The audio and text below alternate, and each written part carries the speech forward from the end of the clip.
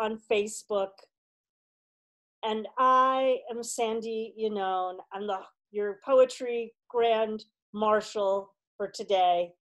It is quite a pleasure to be with you. And I want to just give a shout out to our first hour of readers. What a spectacular, spectacular way to start the parade. And how beautiful to end with music and poetry together. Uh, I am the author of Boats for Women from Salmon Poetry. Uh, it is my extreme pleasure to be with you on the 50th anniversary of the very first Pride Parade on June 28, 1970, which was in commemoration of the Stonewall riots, which began on June 28, 1969. We're here gathered today um, to commemorate and celebrate the 50th anniversary of Pride, and also in solidarity with the Black Lives Matter movement and the um, recent historic US Supreme Court decision extending employment rights for LGBTQ folks um, in the United States. Uh, we have an incredible lineup to follow the fabulous paraders we had in the first hour. A few bits of parade uh, etiquette and news here. Uh, we're all in Zoom land, and you all are in Facebook um, watching us. We are so grateful for you to be with us. All the bios of our readers are available to you in the Cultivating Voices Live open mic chat room um, on our group page. Also, we have donation um, organizations um, that we hope that you will consider making a donation to. Nine spectacular organizations doing great intersectional work um, all across the United States and the UK and Ireland. And we'll be making a donation in, uh, on our readers' behalfs as well today. I want to give a big shout out to our co-sponsor, Headmistress Press. I also want to thank Don Krieger and Elizabeth Ann for helping with the Zoom tech support. And without further ado, let me please introduce our readers for hour two of our Poetry Pride Parade. We begin with Tara Hardy, who is the working class, queer, femme, disabled poet and founder of Bent's Writing Institute for LGBTQ plus people in Seattle.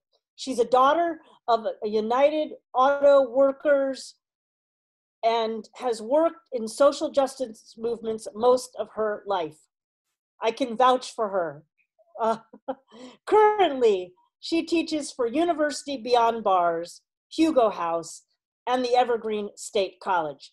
Tara is the author of two books by Write Bloody Publishing, Bring Down the Chandeliers, and her second book, My, My, My, My, My, which won a Washington State Book Award. Next, we have Lex Lenga Torres, a spoken word poet of extraordinary, extraordinary power coming to us live. And I have the wrong bio in front of me. So go to the bio to read the rest of Lex's bio. My apologies, Lex. Third is Orla Fay, and Orla joins us today from County Meath. She is the editor of Boyne Berries. Recently, her work has appeared in Tales from the Forest, Impossible Archetype, Crannog, and the Lake. She won third place in the Oliver Goldsmith Poetry Competition 2019 and was highly commended in the Jonathan Swift Creative Writing Award 2019 and the Francis Ledwidge Poetry Award 2019. Her poem, The Natural Order, appeared in the Irish Times as a poem of the week in July 2019. What a year for you, Orla. Well deserved. Her debut collection is forthcoming from Salmon Poetry. Next is Ceardhain Kerdwin writes from the perspective of a queer, disabled, mixed race immigrant offspring. Their disability has made them an expert at writing in bed. Wherever possible, they're at the beach watching eagles, crows, and purple martins. In 2019, they camped three weeks in the desert of a rented cargo van. Their dream is to purchase a wheelchair van with a bed so they can write outdoors. Donate to support that dream. Check out the bios. And finally, to close out our second hour, we have Charlie Dale, who is a tree lover, an avid baker, and a writing center tutor and student at the Evergreen State College in Olympia, Washington. Thanks all for being here. Enjoy hour two of our parade. And without further ado, my dear friend and sister, Tara Hardy. Hi, everyone. Happy Pride. Thank you to Sandy and Beth and Don for all the free labor you've given us to make this possible. Um, what a great first hour. I cannot wait to hear the rest of the parade.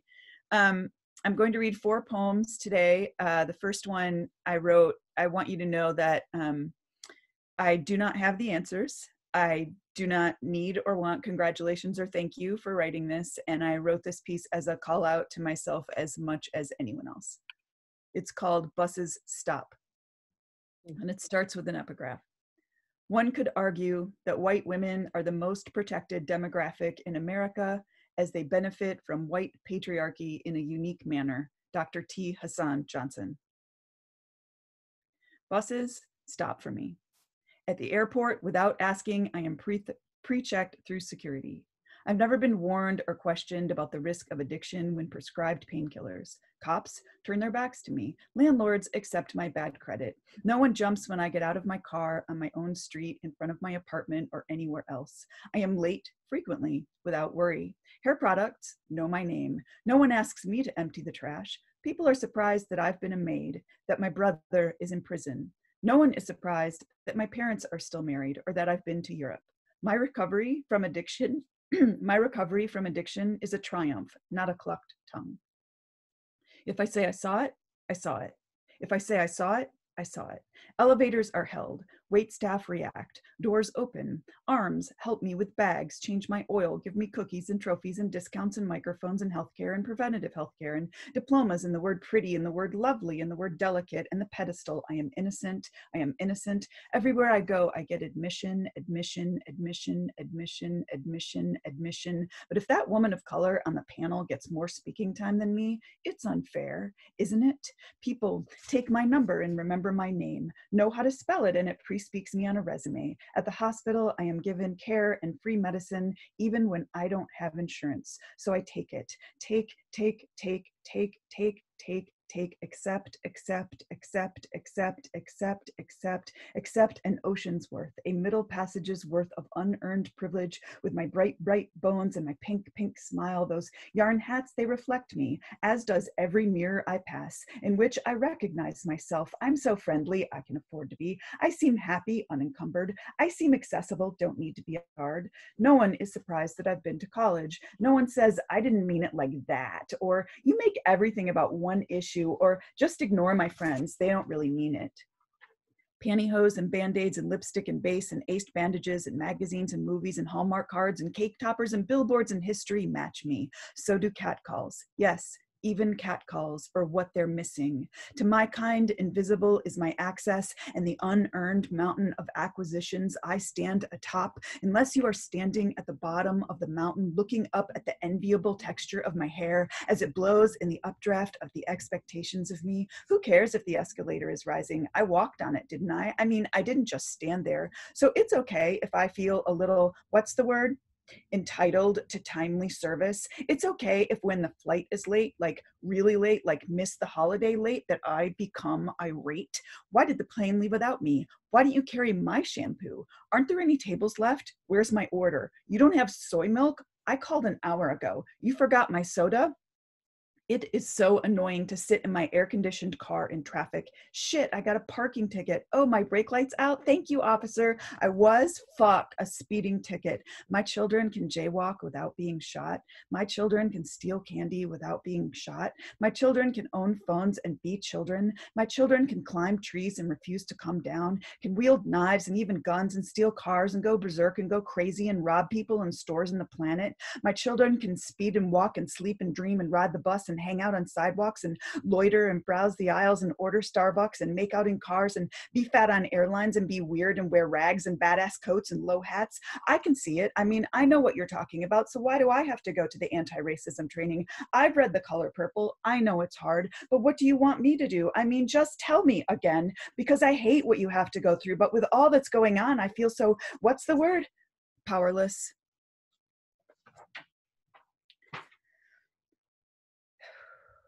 What I want to say about that is that thank you, everyone. I feel weird receiving any kind of clapping for um, a poem that's about a privilege that protects me every minute of my life, including when I'm sleeping. Um, and uh, we all know that white folks need to do better because our silence um, and our comfort causes um, costs people of color their lives. And so I want to um, briefly suggest that uh, we all use the great tool of Google. Um, and uh, Google, one of the things we can look up is 97 things that white people can do. Um, a great list of action because it's our, our words are nothing without action behind them. Okay, I would like to read a poem now. One of the things you can't see about me, but uh, if we were if we were in person, you would understand that I have a disability, and um, I wrote this next poem while trying to navigate an institution that is new to me um, in terms i'm navigating it in terms of access. It is called body encounters barrier or stairs not a metaphor. It's for cj rosenquist. In the current secretly intentional house there is cope with condition itself cannot be underestimated. There is barrier. There is encountering barrier. There is struggle to negotiate barrier while being watched there is kindly meant offer to help, almost always appreciated. There is kindly meant but no asking first help that often involves non consensual touch. There is hyper visibility of body and invisibility of person hood, a neat paradox conjured by inaccessibility. There is don't observably feel anything about any piece in public, which equals choke down snake of shame, muscle grown in the jungle of unintentionality. There is during all, cheerfully, patiently, what is apparently unfruitfully educate while performing ability in public. Go 10 clicks, repeat. But when the roof, walls, windows, when the floor, floorboards, foundation, when the cup of land that holds the house is love, is welcome, when the nakedly intentional shelter is access for body, disability, and or black, brown, trans, non-binary, queer, Muslim, fat, elder, child, carbon-based and breathing valued simply for being and never demand for government document, there is no barrier, no encounter of it, no being watched, only aid, consent, no shame, never blame. Visibility right sized equals neighbor, not snake. Repeat of this life is clean skate on frozen lake.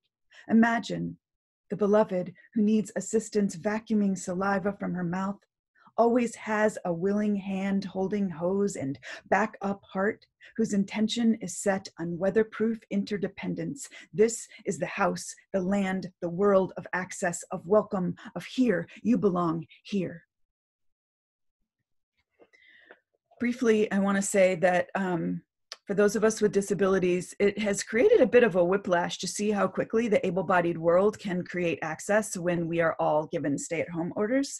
Um, uh, I really want to say that I hope that able bodied folks will not leave us behind again uh, when the world reopens. Um, however, I pretty much know it will happen and I'm already uh, emotionally preparing myself. However, um, for able bodied folks who want to be allies, I'm going to suggest um, getting, uh, perhaps creating an app where, well, let me say this in the nine years before um, all this Zoom access happened for um, during COVID, the number of times that friends of mine offered to hold up phones at, at events so that I could at least participate remotely was exactly zero. Um, and it's amazing to me how quickly it can happen. And um, why don't we create an app that uh, where people can up to hold up their phones at events so those of us who are stuck at home can attend concerts and poetry readings and parties and all those kinds of things. So um, yeah. Not sure that was the most organized or articulate but i have a lot of feelings about it. Okay.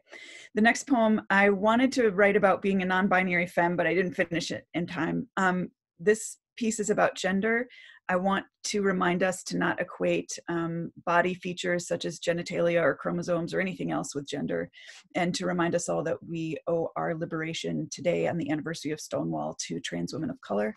Um, this is called What the Doe Feels. What must the doe feel with that target on her lover's skull? What much of her body must she want to throw in front of bullet? A prize, she must think, he is, yes, a prize. But leave him be. Leave him to wild up the forest as nature intended.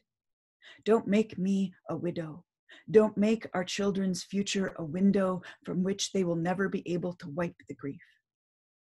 When you say you're going to wear a tie on the plane, my torso blushes with heat, with a built in lean towards masculinity. Straight women understand this lean towards, this nature installed flush for the ways of swagger. But what they may not have had to develop so keenly is my nose for gunpowder, the way fear lives right next door to my desire. I know you can handle yourself on the plane and in any public restroom between there and here. But there are days I wish I could stitch myself to your hip. Send me in to play around in your stead. Find the rifle first. Meet it with my nose. Plead with Hunter with my breast. Take me, take me. Leave my buck alone. Unstoppable nature. Thank you, everyone. Happy Pride. Happy Pride, Tara. Wow, thank you so much, Tara. Um, hey, everybody. Um, my name's Lex. I use all pronouns, um, just not it. Um, and I'm going to be reading three poems. Um, the first one is called An Exchange, and I wrote this poem after my fourth year uh, attending a predominantly white college as a person of color and just uh, feeling a lot of overwhelm with in an institution that claims uh, so much that they strive towards diversity and equity um, versus what is actually being felt. Okay. In exchange, while I was focusing on trying to remain grounded in the classroom of Prove Yourself, I was promptly sat on by the white elephant in the room, helping me maybe a little too much in my original goal. I found myself kissing the footprint of a settler's boot. My spine began crackling along in discord with the splintering of the hardwood floor. It was there I found, under the floorboards, ground.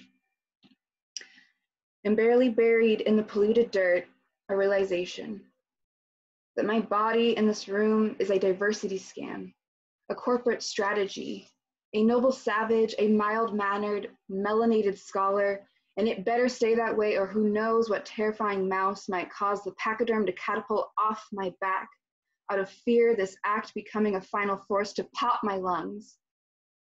I don't need the recallability of the animal currently crushing me to remember how this reality got half ass hidden into the foundations of these institutions. I'm suffocated by this shit every day. After all, this Dumbo is a gift from the monarchs of respectability and good standing for providing such vital insight to the institution. Whether it was the weight of this realization or the ivory beast on my back, my voice began to rumble from the depths, crawling its way to demand assistance, but on its way towards the light, the white burden's trunk raised to the bleaching lights and trumpeted a sort of shh white noise. As I squeaked my prayer, I reassessed my situation and decided I need to preserve my breath before it is crushed out of this body.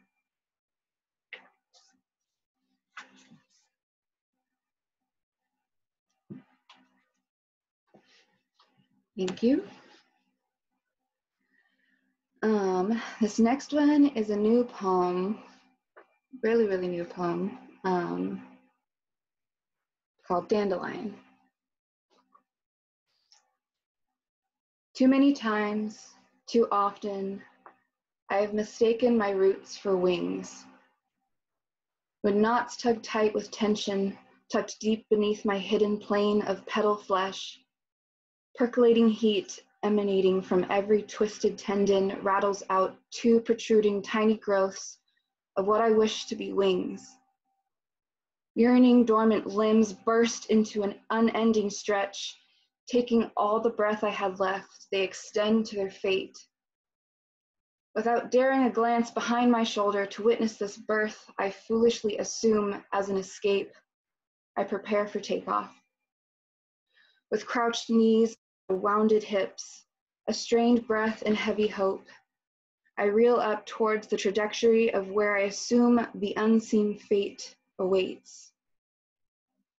A weightless, airy, empty, thrashing, false flight. A feathered, tethered freedom. The veins that sprout from my spine firmly clutch to the ground and snap my body back to earth. A familiar confusion echoes out from the halting crash and settles in the aches between bark and bone. Clouded eyes, finally heavy enough to rain, whisper sincere questions and soft pleas.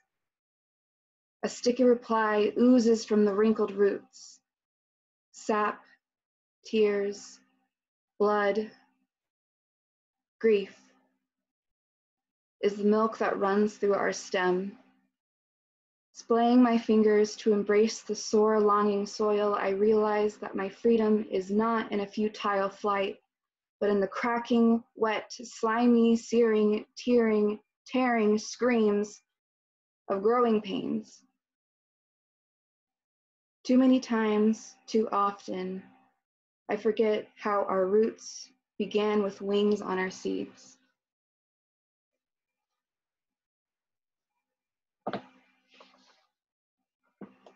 Thank you. Um, and then my last poem is a bit shorter and it's called Housework. Um, I just want, no, I'm going to allow myself to need someone to understand I will never wash our dishes. I will joyfully claim any other chore or burden. I'll pump our clothes in a tub, iron them with the warmth we generate. I'll gather our collective trash, sort the filth from what we can be what can be made new. I'll sterilize each centimeter of the bathroom, let no damn spot survive. I'll check the vents for cockroaches, shoo out the lingering rats in the attic. I'll axe the wood and stack the logs, save them for the cold shouldered nights. I'll mop the bucket from the tiles, soak up the shit we track inside. I'll relocate the weeds that choke our garden. I promise the roots support our lungs. These are my vows and my promise to you. I'll take on all these duties. Just please, please never expect me to stand in front of the sink and anchor both hands in the suffocating suds to become lost, to spiral down the drain along with the crumbs we didn't have room to digest. Do not ask me to go there. Unless, by the offhand chance that I ask to clean our dishes, say yes. Sit in the space between the sink and the toaster beside me so that I may find your eyes when I look up so that I can let the eyes on the back of my head sleep. Become the drain strainer when you see me start floating with the food and bubbles. Dry the drops I missed. Should these vows fit the portion of your plate and the oath not too much to stomach, when your knee and the floor decide to finally confess their love for each other, ask me, will you let me do the dishes for the rest of our lives? Okay, thank you. Thank you so much. This was so fun. I'm so excited to be here and listen to everybody. Lots of love.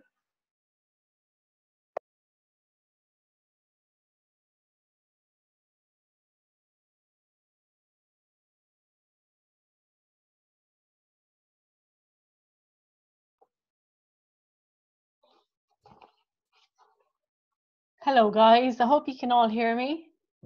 Thumbs up. Oh, great. Um, thank you, Lex, for that reading. That was lovely. And uh, my name is Orla, and I'm from Ireland in County Meath, and I edit a magazine called Boyne Berries. And I'm going to read just four poems for you tonight. And the first one is called The Member of the Wedding. Um, which I'm sure you know, it's a Carson McCullers novel. And um, when we were teenagers back here, um, our teacher taught us this novel for our curriculum. So, The Member of the Wedding. When I think of dog days, I remember Frankie Addams, F. Jasmine Addams, lost and struggling in the novel. I see her roaming the streets of the South, her hair slicked back and clothes clinging to her in sweat. She longs to go to Alaska. We studied Carson McCullers' novel along with The Hobbit and To Kill a Mockingbird for our junior cert. I related to Frankie's awkwardness, the way she longed to fit in, I think our teacher was showing us that it was okay to be different, that feeling was something we could do. She told us to underline Atticus Finch's words to scout about walking around in someone else's skin, to consider things from another's point of view.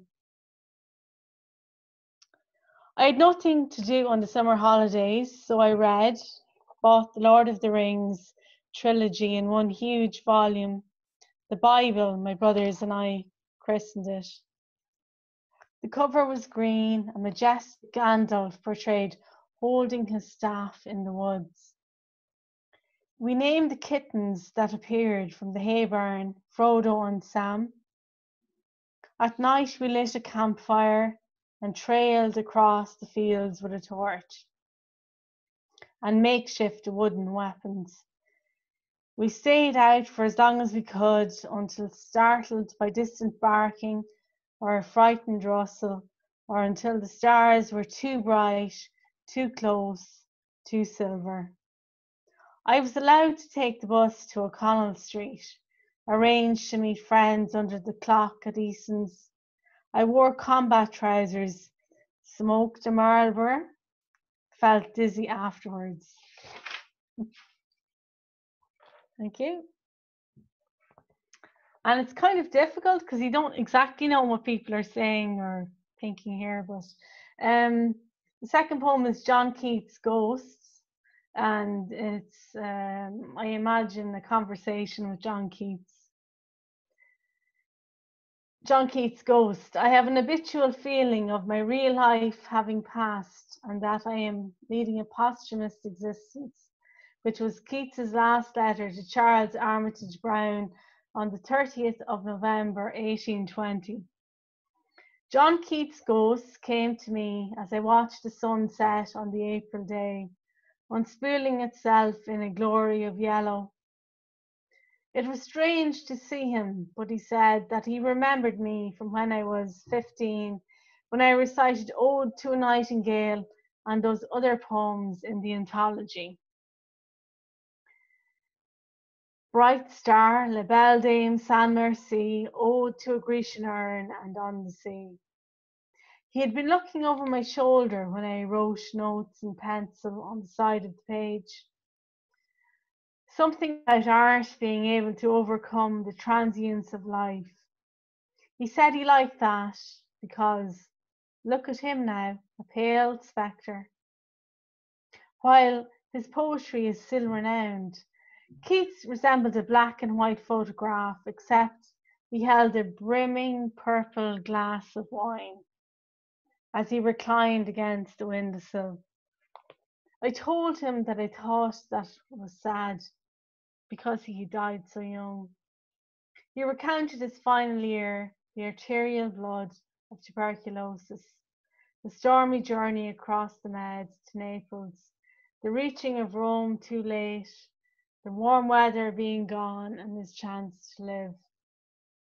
I said to him when he had finished, John, I'm sorry. It was a cruel blow. I mean, you're only 25, right? But like you said, your work lives on. At that, he looked up and grinned. It was a lovely grin, wide and hopeful. He seemed to find some peace in himself, and he turned his back to me and walked right out into the sky, into the last flares of the sun, tapering out like a black, burnt piece of paper. I was glad to meet him, claimed the first silver star for us, and wished that I always be haunted by beauty. Mm-hmm.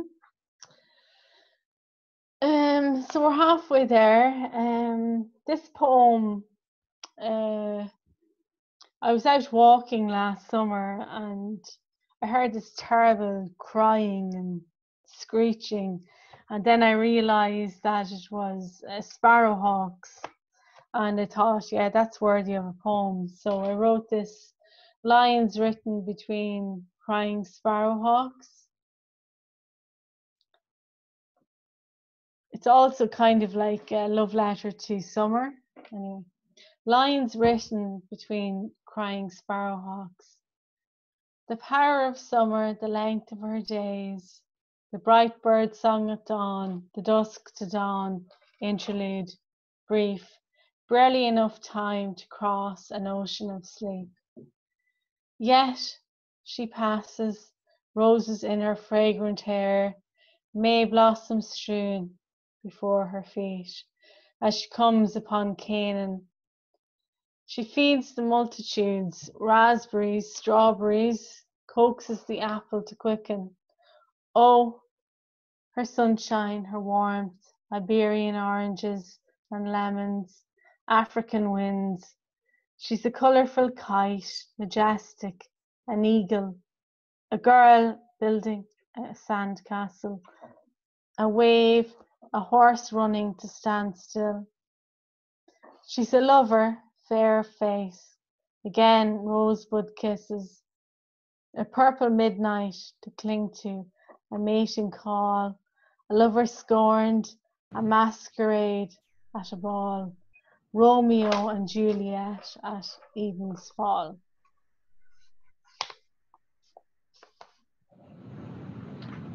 Thank you. So um, my last poem is called Say My Friend and I wrote this about 20 years ago when I was very young and it's kind of inspired by uh, Sting's uh, song Fields of Gold. And I think I heard him sing it on Parkinson which is a talk show in the UK and really really moved me. So it's my friend Say, my friend, say, my friend, that memory is longer than this day, this full day of my life, that in the night, as I sleep time away, I am not lost. Say, my friend, that I am the moon when the sun has set in the western sky, that I am alive in your dreams and part of the tears that you cry. Say, my friend, that you believe in ghosts when shadows move across the earth, that somehow past and present will entwine in the steady beating heart. Say, my friend, that love is strong and true when beaten down by time, that when your lips are blue and cold, the warm kisses you remember will be mine. Say, my friend, that night and day cannot be parted long, that one day soon dawn will break and forever we will be one. Thank you.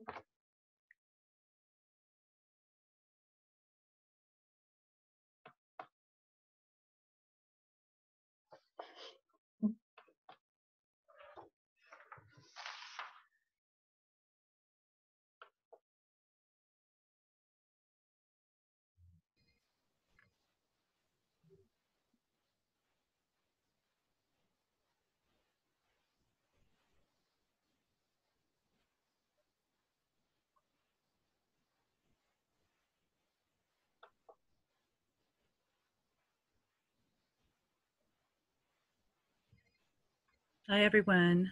I'm Caradwyn. Uh, my pronouns are they, them, theirs. I live on a rural island in the Pacific Northwest US. I'm queer, genderqueer, disabled, mixed race, Asian, and a person of color. My mother's people were Welsh and Irish. My father's family immigrated from China to the US, fleeing government violence. I'm chronically ill. I live in I live from my bed in a power wheelchair. I am here today for the people who can't come to in person poetry readings. I have not participated in a poetry reading in over a decade. For some of us, coming to an in person event costs us weeks or months in bed to recover. For us, stay at home orders are an everyday experience. Mm-hmm. Imagine what it would be like for those orders to never be lifted. Events like this allow people like us to participate. I so appreciate being included. After the pandemic, when you go back to meeting and hugging in person, I hope you will remember us, those of us who live from bed, and find a way to include us. And thank you, Tara Hardy, for that shout out. And um, also, I just want to say I'm so honored to be here and to be um, in a lineup with Tara Hardy, who was um, my first poetry teacher and the person who got me on my first stage. I have one poem for you today, and it is dedicated to Black Lives Matter. Don't, don't tell me our country is broken. Underneath those words is the premise that it was ever whole. Did you forget? This country arose from the theft of indigenous lands, steeped in rape, soaked in the blood of genocide, built on the backs of another nation's stolen citizens, who were bargained off like sacks of potatoes. Only sacks of potatoes are usually treated better. I remember a friend proudly telling me about her Norwegian forefather how he had built one of the major railways in this country. I listened to her silently, wondering if he had ever broken a sweat or a nail while slaves and Chinese immigrants who could have been my ancestors toiled under the lash of his overseer's whip after being separated from their wives so they couldn't pollute this country with children who looked like them. Don't tell me you are surprised the police are killing black and brown people. Is it news to you? Don't you know police arose from slave patrols and later thugs hired by rich white businessmen to forcibly keep the working class masses from rising up against their abuses? Now, thugs are what young black men are called to justify their killings on the way home from buying Skittles and soda at the corner store. How far have we come since Emmett Till, since the church in Birmingham where four little girls got killed? How far since Rodney King? I'm asking you because I want to know how many times are we going to do this? What would Martin say to us now? The beatings and killings are not new to Black and Brown people. Only now the images are coming to you. After centuries of lynchings that have gone unwitnessed, so many dead, unnamed to herstory, to history. Don't tell me you believe in the laws supposedly upheld by police. You know the laws don't apply to us equally. They were not written to contain the wealthy. The structure was built on the very idea to put the ones who don't matter, put black and brown bodies in jail. How else could they get cheap labor, labor after slavery was supposedly over? I know you are seeing the deaths and crying with us now. The whole world saw Ahmaud Arbery gunned down in the street, Breonna Taylor, who died in her home after going to sleep, George Floyd crying and dying under the knee of police. Finally, the world can see.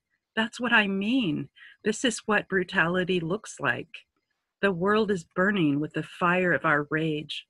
Tell me, why do you care now to burn it all down? Don't tell me the world is broken. Instead, tell me what you will finally do to make it whole. Tell me what happens when the fires die out.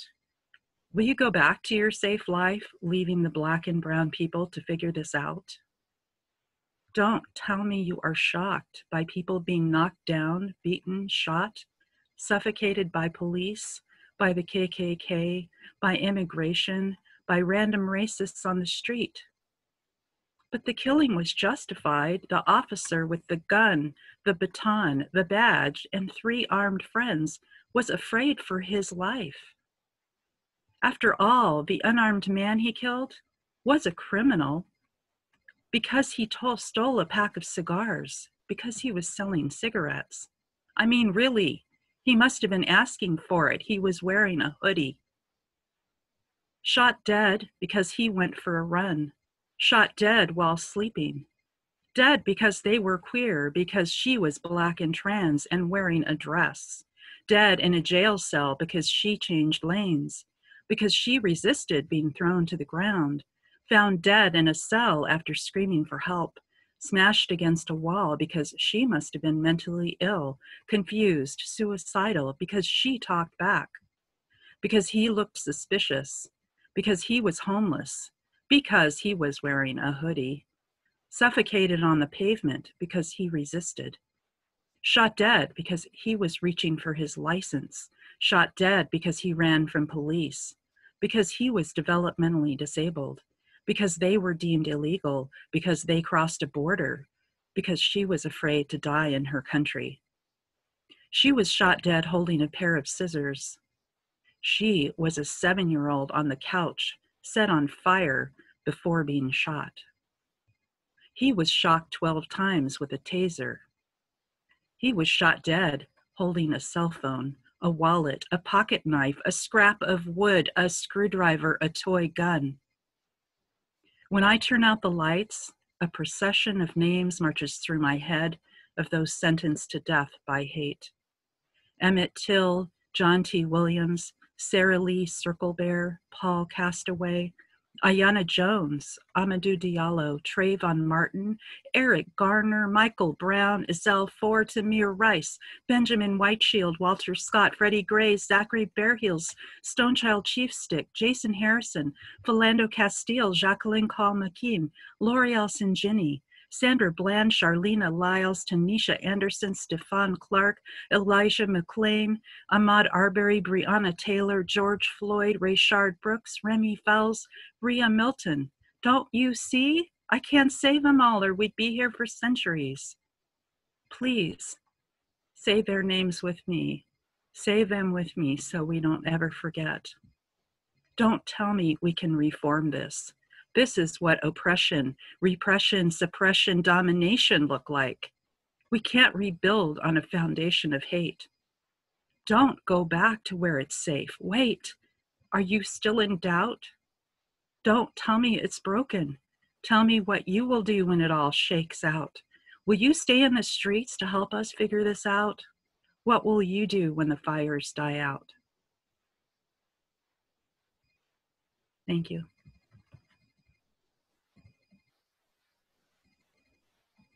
Oh my God. That was wonderful. I really enjoyed that. Thank you. I'm so glad that you could be with us. And it will not be the last time you will be with us, Caradwyn. I hope it will not be the last time that you will be with us.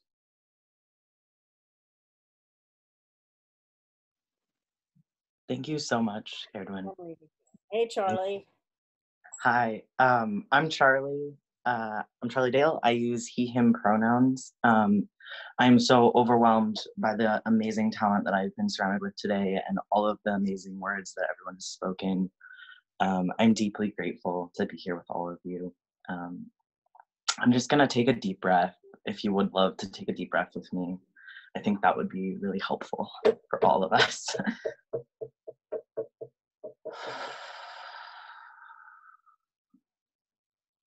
Thank you. I have a couple poems for you all. Um, I'm gonna start with one that I wrote last week, um, and it is about watermelon, and it is based off of an exercise that Tara had us do in our class. Um, so shout out to Tara. Um, cool. I like that you are mostly water. I can impress the boys and eat a whole half of you by myself.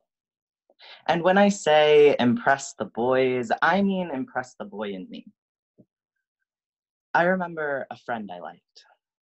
Their favorite fruit was watermelon. I tasted more watermelon with them than I ever did their lips because the struggle with watermelon is that you can't eat the rind.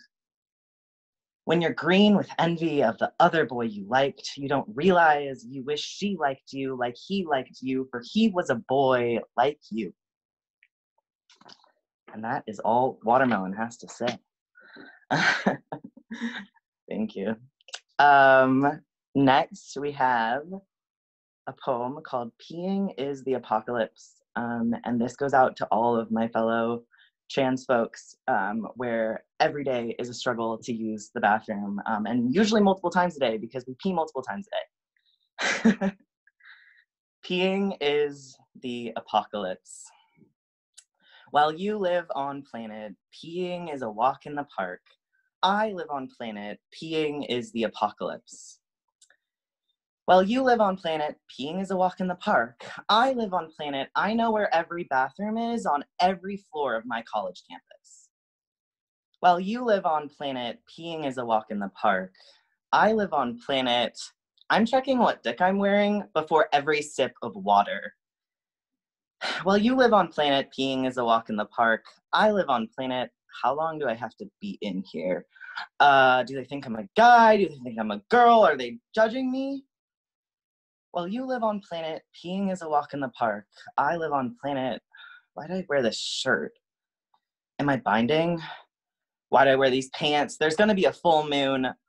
Why did I wear this dick? I can't even stand to pee in a urinal.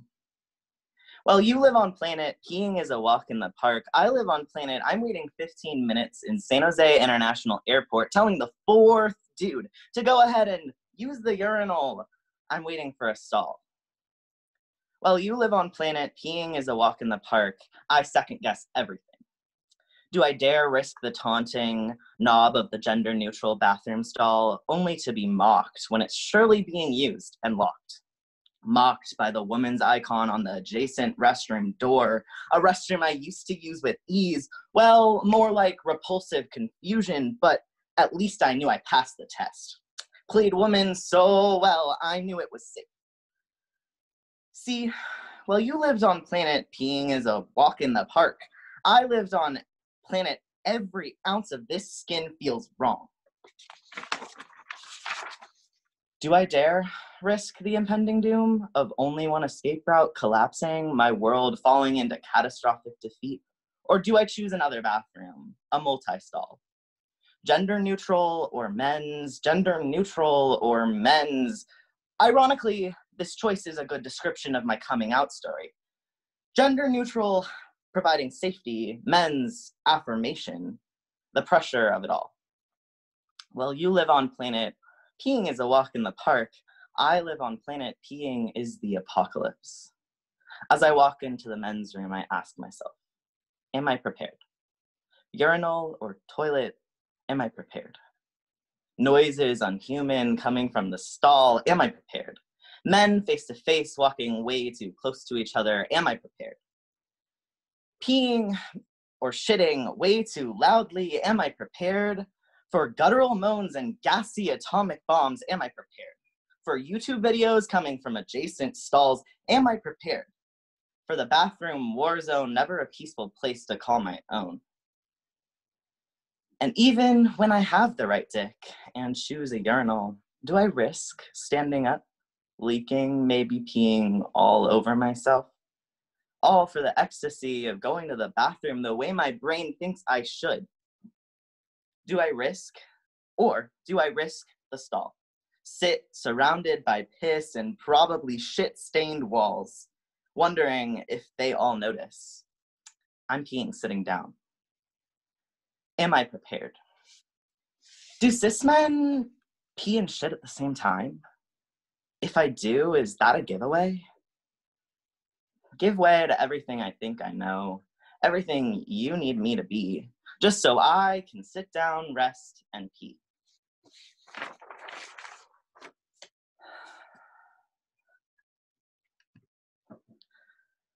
This is called Moths and Goo.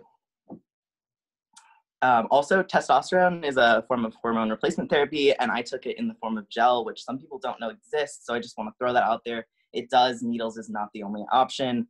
If you're struggling with that, reach out to me. I'll talk to you. Um, yeah. Moths and goo. Clouds descend. Hopeless moths swarming into blinding light poison my fatal attraction fearful of my own skin falling, ripping away. Layered gel on my body, goo builds and destroys my cocoon. Breaking free, all to swarm this fatal light. Breaking out isn't linear. There's not there's something scary about free falling. No control. Don't know how my face will look. Don't know how much weight I'll gain. Don't know what man I'll be where are the role models? Where are the role models? There are no good men, free fall. Abusers are men, free fall. I leave behind good women, free fall. I become men, wings out, because they must come out. Every moment falling in, every moment fading out. I don't want to become as I come undone. When will the changes stop? Patience as I gain 60 pounds. Patience as my face hollows and fattens. One more time. Patience as I learn how to breathe in new eyes, new lungs, new wings. Oh, look, how glorious the spots. Changes happening fast pairs with changes happening not fast enough. Not fast enough. Never enough. Not drastic enough.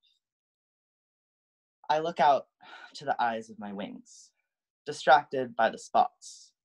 Second eyes don't see the same. Flailing, I fall. Fighting, I open. Never enough, but more, I become familiar. The patterns of my wings recognizable. There will always be another chrysalis, another opening, another wingspan. I will never stop breathing. Wow. Okay, we're skipping one of them because I don't have enough time. this is called drowning versus swimming. An abnormal reaction to an abnormal situation is normal. Viktor Frankl. What does it feel like? They want me to say, I've always known. But I ask you, do you ever know how you've abandoned yourself to become? Do you ever really know when everything's going to change? So I tell you, I never really knew. What does it feel like? It feels like being underwater, drowning, a dream you can't wake up from. You don't know which way is up except for to say that maybe, maybe it's this way. You follow because you can't breathe. How much of a choice is it between drowning and swimming? swimming towards the surface, hoping it's the surface when you've never seen the surface before. Living a dream when it's the only thing you know is terrifying. Sometimes you question dying. You think it'd be easier than swimming aimlessly. The moments when it feels like you're swimming down deeper when all you want is up, a place you'd imagine would taste, smell, be different. Air might flow easily, breath might be exchanged more effortlessly with the world out there. So is it a choice? Do you dare say it's a choice? I swear it's not a fucking choice. I don't have a choice, and I do. See, I didn't die. I refuse to keep drowning. I choose to take one step forward, one day at a time. I choose to grow, to change. Trust me, it surprises you and me both that needles in my belly and surgeons in Florida feel just as easy as one more deep dive. I'm swimming up, a walk in the park somehow, somehow. Just another breath, just another step. I take the next one. By the time I arrive, I am ready. I am ready. This is my normal. Somehow. A change is only a change in hindsight. In process, change is just life. Brain the same, sex changed, now it's my life. And I know how to breathe again. Thank you so much. That was wonderful. Thank you so much. I really enjoyed that. Thank you, Charlie. And thanks for everyone from our hour two of our epic Poetry Pride Parade. It continues on into hour three. I'm going to mute all our beloveds here in the Zoom room, and we're going to take a break. Please feel free to put your screens on um, your